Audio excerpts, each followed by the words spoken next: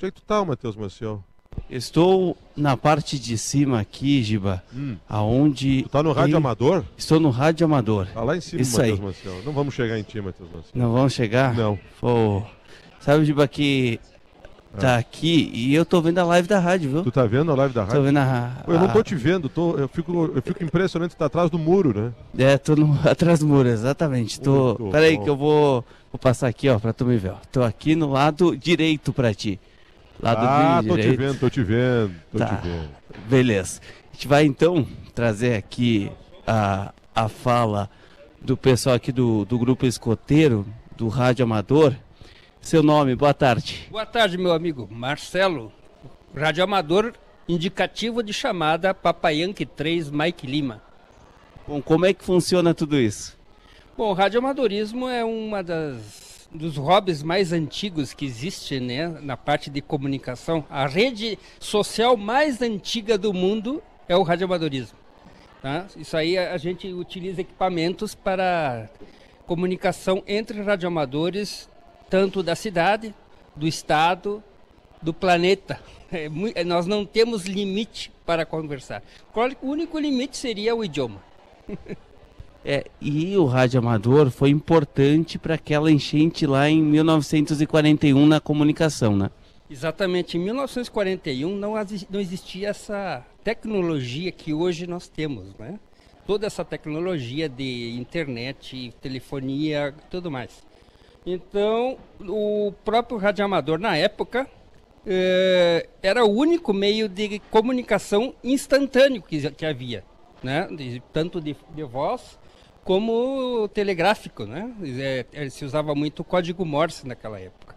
Então, o- em 1941, devido a essa dificuldade enorme que a gente está enfrentando hoje, que é a parte das estradas que todas interrompidas, nós, radioamadores da época, eh, se valia do nosso hobby, da nossa meio de comunicação, para poder comunicar entre todos os, os pontos chaves, digamos Porto Alegre, Florianópolis, que havia uma ponte, conforme eu, eu li também a, a reportagem da época, que é- era feita uma, uma triangulação, né? Caxias, eh, Florianópolis, Porto Alegre.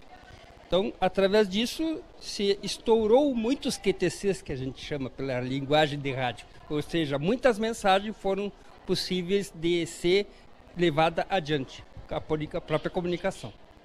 Bom, e, e hoje, como é que está sendo o trabalho aqui com o rádio amador? Bom, hoje, eh, devido, como eu digo, a toda essa tecnologia que existe, eh, a gente já não é tão necessário como era naquela época. Mas a gente está dispo- disponível aí eh, fazendo as, sua- as devidas comunicações, certo?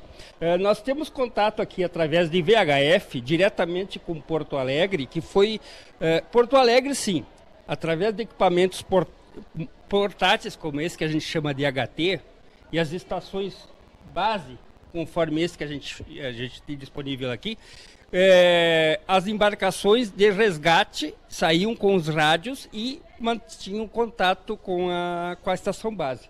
Até a semana passada, até, ó, digo, até segunda-feira ainda tinha muito movimento ali na, na parte de salvamentos, que era ulti- os últimos salvamentos foram os pets, os animaizinhos que estavam eh, ficaram presos em, até em residências que não pegaram água, no andares superiores, no caso, né? Eh, esses animaizinhos estavam sendo salvados até, até segunda-feira. Hoje até não, quase não tem muita gente aqui na, disponível, mas a gente está mantendo o nosso contato aqui. Até vou tentar uma chamada com Porto Alegre, pode ser? Vamos lá, vamos lá. Porto Alegre, Porto Alegre, eh, tá na escuta, é Caxias do Sul, Papa Yankee 3, Golf Sierra Hotel. Por que Golf Sierra Hotel? GSH. Porto Alegre está na escuta, é, Rádio Caxias está nos entrevistando aqui pelo seminário. Porto Alegre na escuta? Positivo, QSL. Copiado, é Papá Uniforme 3, Golf Foxtrot Mike. Copiado, Golf Sierra Hotel, aqui em Porto Alegre. QSL. Muito obrigado, PU3 Golf Foxtrot Mike, Porto Alegre. Meu nome é Marcelo, aqui Caxias, titular da estação Papa Yankee 3 Mike Lima. operando a estação Papayanque 3, Golf Sierra Hotel, Grupo Escoteiro Santiler, é, uma estação rádio escoteira do 16º Distrito, aqui sendo transmitido via live também da Rádio Caxias, ok, meu amigo? Se identifique aí, por favor. Ah, ok, que é a série, ah, este operador Papal Uniforme 3, Golf Foxtrot Mike, operando a estação de emergência em Porto Alegre, ok? É, copiado Papai Yankee 3, Golf Sierra Hotel Marcelo, ah, na estação do Grupo Escoteiro, positivo. É, essa estação de emergência permanece em QAP e QRV na frequência de 146-520, frequência de chamada, que é a série? Muito obrigado, colega. Um grande abraço. Estamos aí, QRV, aqui por Caxias também, durante o horário comercial, das 8 às 17 horas. É o horário que a nossa uh, centro aqui de, de triagem de Caxias do Sul, da Fundação Caxias, está em operação. Muito obrigado pela contestação aí. Você foi para o ar aqui pela Rádio Caxias em é, 93.5 AM, é, FM, né? E também pela live aqui no YouTube. Um grande abraço, 73. Ok, que é Forte 73, Papá Uniforme 3, Golf Foxtrot Mike, estação de emergência. Que espetáculo, que espetáculo. Bom, Marcelo, obrigado pela entrevista, viu? Parabéns aí pelo trabalho. De nada, é, eu até fico um pouco encabulado de uma estação de rádio comercial de falar, né? Porque eu tô acostumado há 40 anos que eu sou radioamador, sem falar nesses equipamentos aqui, mas na rádio comercial é difícil. Grande abraço a todos os ouvintes. O, o Rodrigo tá filmando tudo aqui, tá indo pra live, Giba. Tá um espetáculo aqui. E antes vendo, o Marcelo tava, tava, tava conversando com, com o Rodrigo. O Rodrigo te passou algumas situações, também ajudou o Rodrigo. O que, que, que, que teve nessa resenha aí? E, não, em princípio aqui nós estávamos com alguns. Estava passando para ele algumas informações sobre rádio, tá? Mas é, que houve algumas uh, necessidades de, de, material também. Deixa eu baixar um pouco o volume aqui para.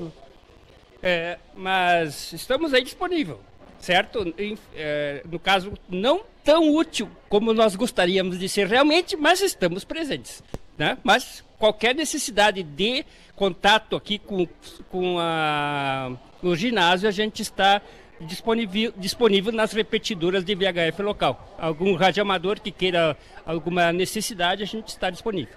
Valeu. Esse Marcelo, então, trabalho junto com o grupo escoteiro, Giba. Então, um pouco do rádio amador. Não vou deixar o Rodrigo de Oliveira muito perto aqui, senão o Rodrigo de Oliveira vai ficar por aqui, viu? E vai nos abandonar, Giba. Vamos, vamos compartilhar conhecimentos. Muito bom, muito bom mesmo. Já tinha ouvido falar nos trabalhos dos radioamadores, mas nunca tinha visto assim e de certa forma até participando, né, com, como ouvinte é, no exato momento que está sendo feita a comunicação. É legal. Vamos para o intervalo comercial, já voltamos.